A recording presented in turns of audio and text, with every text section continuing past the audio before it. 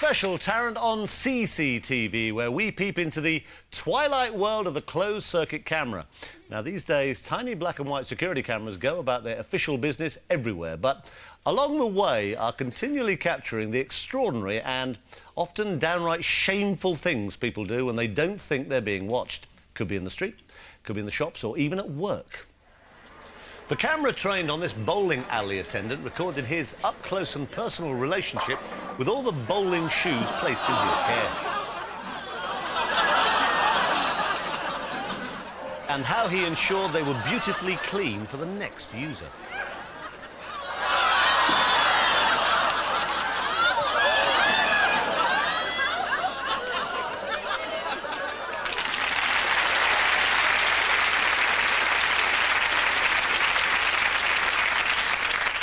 And you really don't want to know what he's stuck in the bowling balls. if you go to the bowling alley, you'll have no trouble recognising that guy. He's the one with the tubby tummy, the receding hair, and the verrucas on his tongue. more often than not, closed-circuit surveillance equipment is operating without the knowledge of the people who are caught on camera.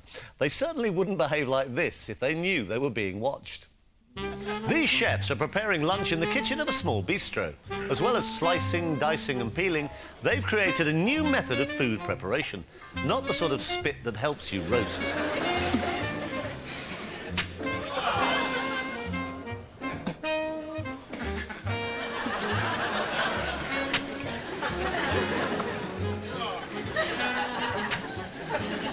Having splattered the mash on the walls, it's clearly a question of waste not, want not.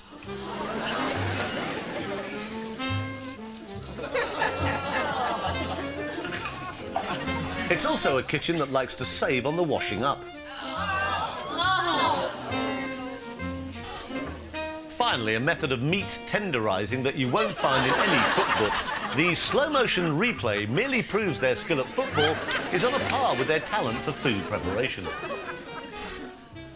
But it seems that even out of the kitchen, your dinner's not safe. If you've ever phoned out for a pizza, prepare to be shocked. This delivery guy is about to unknowingly reveal the unpleasant extras that his personal service provides. He slips the pizza out of the satchel, takes a huge slice of pepperoni, then gives another piece the taste test with his tongue. Then all that's left is to straighten his hat and deliver the pizza.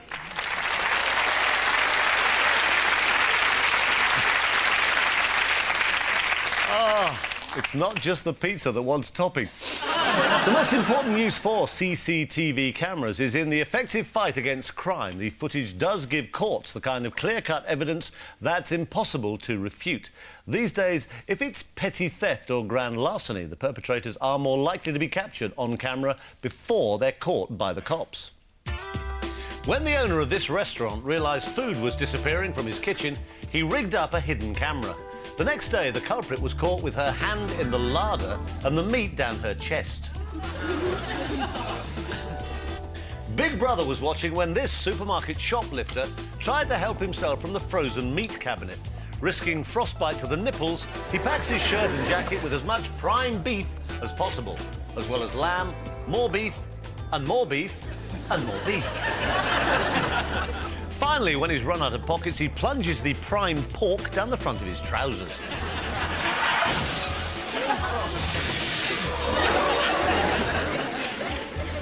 This is not a demonstration of bad parking, rather a case of if you can't get to the cash machine, then you might as well get the cash machine to you.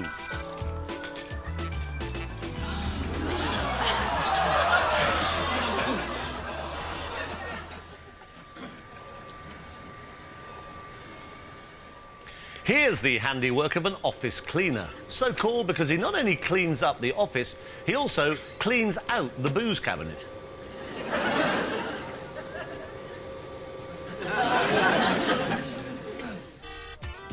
This chubby chap pocketing the loose change is in fact an American clerk of the court.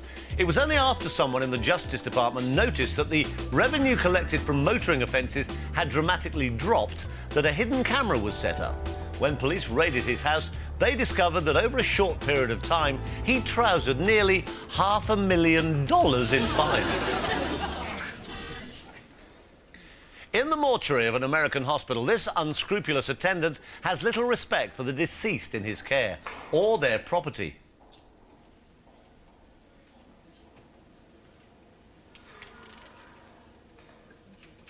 Having lifted a credit card, he very neatly puts back the wallet and rearranges the pocket as if nothing had happened. Meanwhile, when police set up a camera to monitor the garden of a woman who claimed her underwear was disappearing, this man, a local truck driver, was soon caught in the act of taking her knickers down from the washing line. Far too small for his own use, he apparently told the judge that he was hungry and thought they were edible. Oh, yes, of course he did.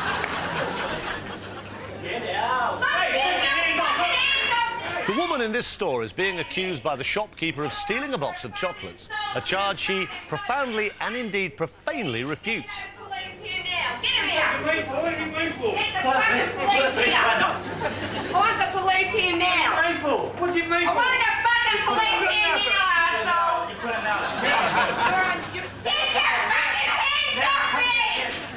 The boyfriend then decides to keep the owner at bay by hurling trays of sweets.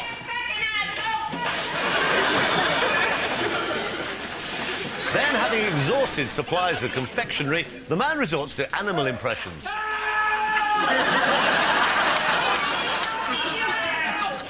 out! Do you mean for?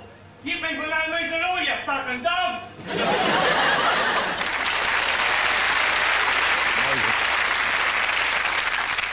And all because the lady likes milk chocolates. Mercifully, not all women are quite such foul-mouthed harridans. Others express their displeasure and exact their often terrible revenge in a much more subtle manner. Let this next montage of CCTV footage be a frightening and salutary lesson for all men. Here's a car parking nightmare most of us have experienced. As the woman prepares to back into her parking space, some less than chivalrous guy quickly sneaks in behind her and steals it.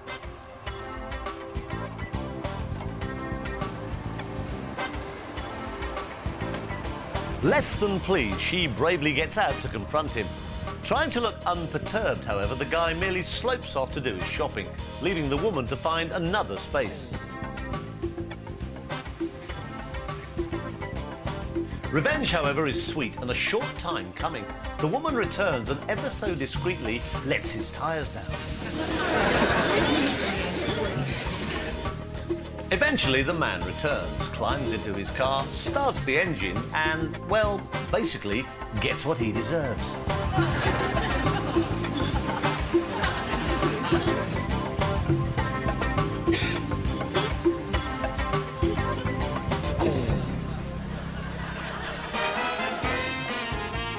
The waitress on the right of your picture was having a bad night thanks to a customer at one of her tables. Her friend, the barmaid, decides to help her get her own back. So the offending customer's next large scotch is laced with a couple of shots of something that definitely isn't soda.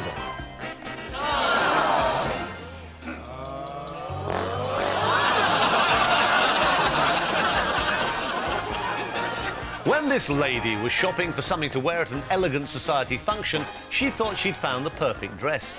But her stunned reaction to the more than hefty price tag was, well, less than ladylike.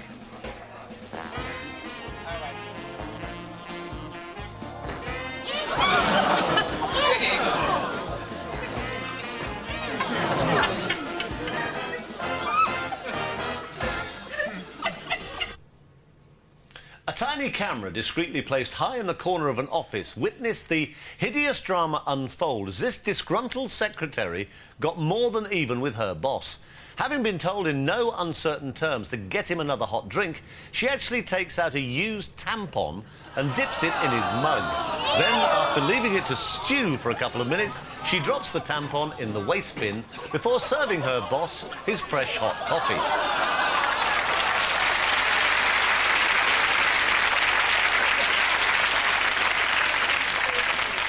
All the women in the audience are applauding. And all the blokes are feeling really, really bad. Yes, it's a delightful little item which has very probably put you all off your warm, cosy bedtime drink altogether. Now, whereas the man featured in that clip must have had the most insensitive taste buds ever known to science, the cameramen at work on these next two items had the most insensitive taste. First, this amateur camera buff seems to specialise in people, well, in the buff. In fact, he can hardly hold the camera steady with one hand, as his across-the-road neighbour starts cleaning her windows and dusting her blind. This really does bring new meaning to neighbourhood watch. Meanwhile, this cameraman has more than a shot when he trained his lens on the new person next door. The sort of neighbour who can seriously bring down the value of all the property in the street. Even his pants are enough to make you want to move from the neighbourhood.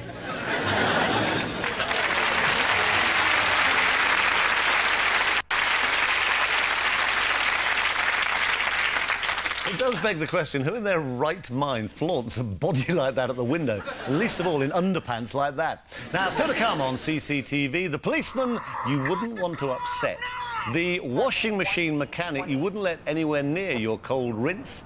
And the naked man you wouldn't want hanging about outside your bedroom window. All in a couple of minutes. See you after the break.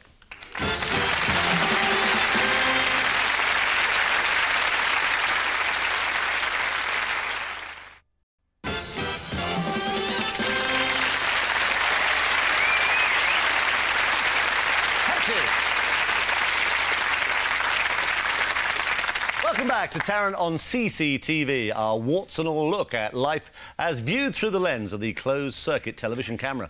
Now, most of the everyday cameras you see perched looking down over our streets not only serve as a deterrent to crime, but also help police in the detection of crime. Sometimes, however, it's the police themselves who are revealed as acting in a manner likely to cause a breach of the peace. If you rightly thought that looking after the safety of the public, especially women travelling on their own, is all part of a policeman's duty, then no one seems to have mentioned it to this completely out of control patrolman, recorded on his own in car camera. Cut the car off now! Turn that fucking car off! Roll the door! Roll your window down now! Turn the car off, put the damn keys out the window! Now! On the car, on the car, now! Get on the car! Get on the car! I have my seatbelt on! Get off now! No, on the ground! On the ground! No! On the ground! On the damn ground, right? On the ground! Put your hand behind you now on the ground! Quit fighting me! Give me your hand! Give me your hand! Give me your hand! Give me your hand! Shut your ass up bloody now! You're fixing to taste liquid hell in just a minute!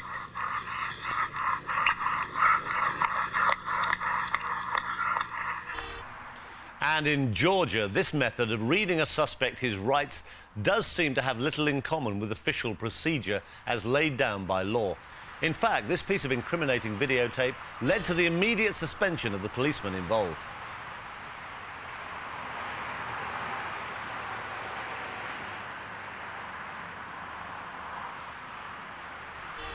Meanwhile, when the police aren't around, shopkeepers have to take their own measures against becoming the victims of crime.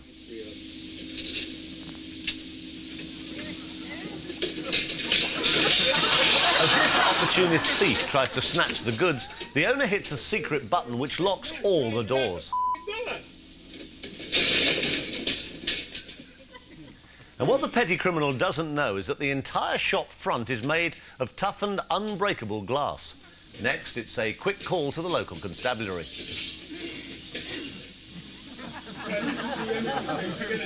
place 2625 South Orange Avenue.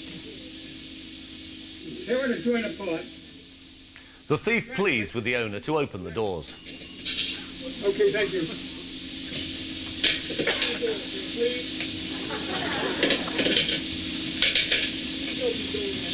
You're on your way to jail.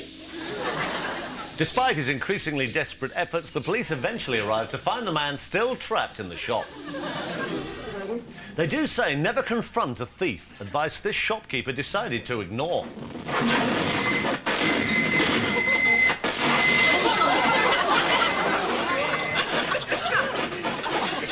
This man's career as a masked bank robber got off to an unsuccessful start when he forgot to actually put his mask on.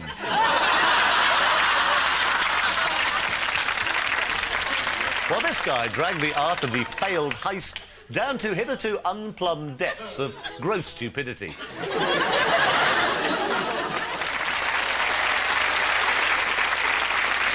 Those are the sort of men who quit the SAS because the balaclava's too itchy, of armed and highly dangerous criminals into disrepute. But it's not just during a stick-up that villains find themselves in trouble. Burglars, too, can find themselves, well, stuck up. This burglar made his escape as far as the roof of the restaurant he was robbing. Unfortunately, he got himself jammed in a turn in the air vent. His terrible screams woke neighbours, who quickly called the fire brigade, who just as quickly called the police. This cook turned crook tried to rob his own restaurant, but found himself wedged painfully inside a cooking duct. The squeeze was so tight he needed oxygen. He recovered and is now a cook in the local jail. This overweight cat burglar had little trouble breaking into a restaurant. His problem started when he tried to escape back out through a window and found himself stuck fast. After two hours' work with a hacksaw and a generous coating of cooking oil, the fireman finally managed to slide him out of the frame and into the handcuffs.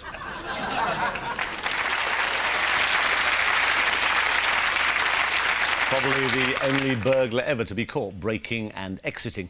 Now, something we've clearly confirmed so far from the closed circuit footage we've seen tonight whatever you are and wherever you go, the cameras can always see you. And on the subject of wherever you go, CCTV caught this in store Santa sneaking out for a quick cigarette.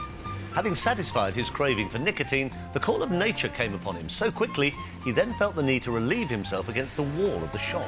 Then the man who put the grot in grotto went back to dole out gifts with unwashed hands.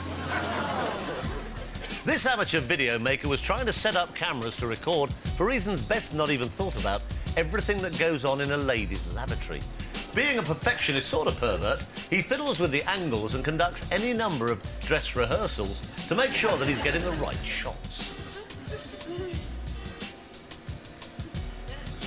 Fortunately, the only person caught bending over the loo was himself, spotted by a passing security guard. This washing machine mechanic was obviously caught very short, as he has to relieve himself in the homeowner's kitchen sink.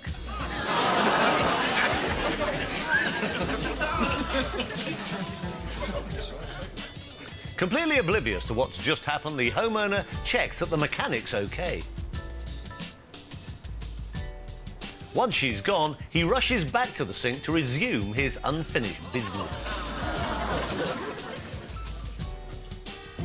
If you think an innocent looking laundry room is hardly the place to need security camera coverage, then you couldn't be more wrong. This innocent resident is here to do his weekly wash. So he chooses his machine, loads it full of laundry, pours in the detergent and leaves. Soon after, another resident with a grudge suspiciously enters the room. Finding the machine his neighbour's using, he takes their ongoing feud to a much more unpleasant level. Slipping his jeans and pants down, he uses the machine as a lavatory.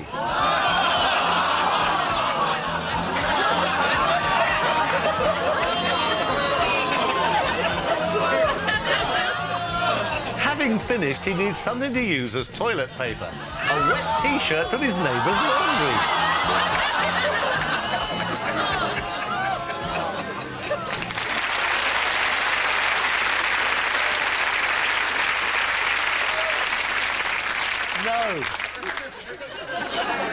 Of the most convincing arguments for staying friends with the neighbours I think I've ever seen.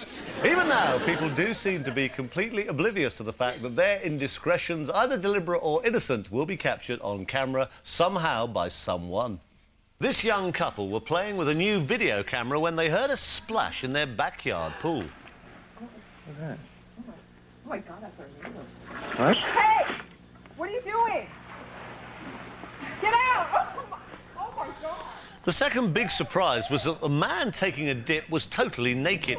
And despite his barefaced cheek and hasty exit along the side of the house, the illicit swimmer proved to be their neighbour.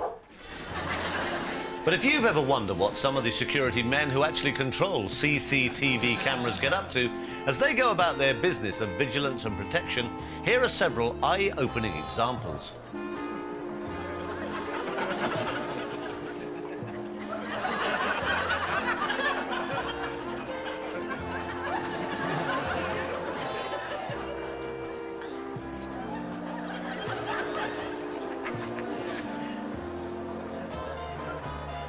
However, the cameras were right on track when they zoomed in on this casino prostitute who was quickly busted on the job. Many taxis in New York City are now fitted with CCTV for the protection of the passengers and the driver. These two women on their way to a birthday celebration clearly wanted to start the party before they'd even arrived. High up on this apartment block, a naked man was videoed dangling precariously outside. It turned out that his lover's husband arrived back rather earlier than expected. But the mistress seems less worried about getting caught and more about getting him to put some clothes on.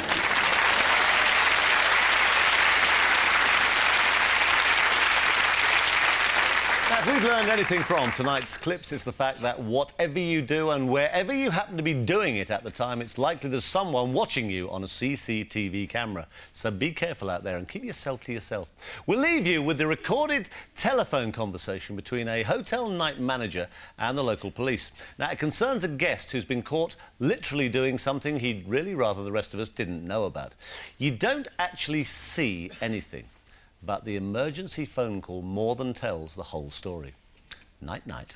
This is Harmon Davis of the Scottish Inn. Can I have a police car come over here? This is who? Harmon Davis from the Scottish Inn. Uh-huh. Can I have a squad car come over here? This is something you got to see. This is unbelievable. The Scottish Inn? Yes. What's your telephone number there? 687-2530.